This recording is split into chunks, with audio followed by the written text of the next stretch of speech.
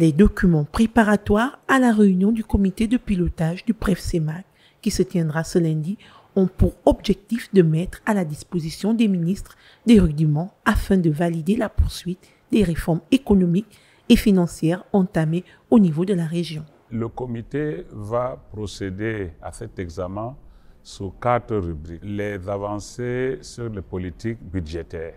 Le comité passera ensuite en revue les questions liées au pilier 2 du prep c'est-à-dire à la politique monétaire à la politique monétaire et aux finances dans notre sous-région.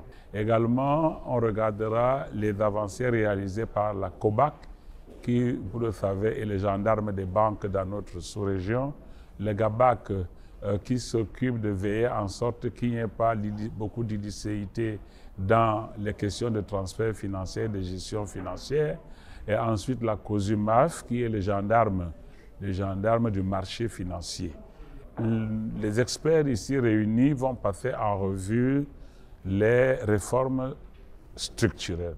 Les réformes structurelles constituent le volet 3, le volet 3 du programme de réformes économiques.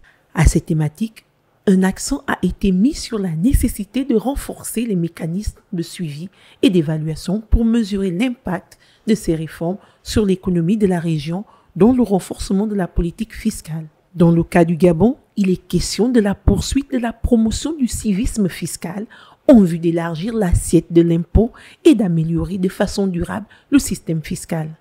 À l'issue de ces discussions, les membres de la cellule de suivi du PREF-CEMAC ont convenu de la nécessité d'accélérer la mise en œuvre des réformes pour stimuler la croissance économique dans le plan d'opérationnalisation de la stratégie communautaire d'import-substitution des produits du cru.